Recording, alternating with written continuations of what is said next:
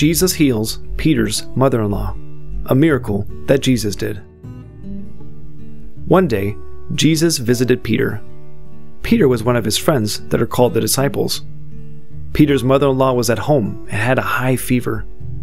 Jesus touched her hand, and the fever immediately left her. She got up, cooked some food, and served Jesus and his disciples.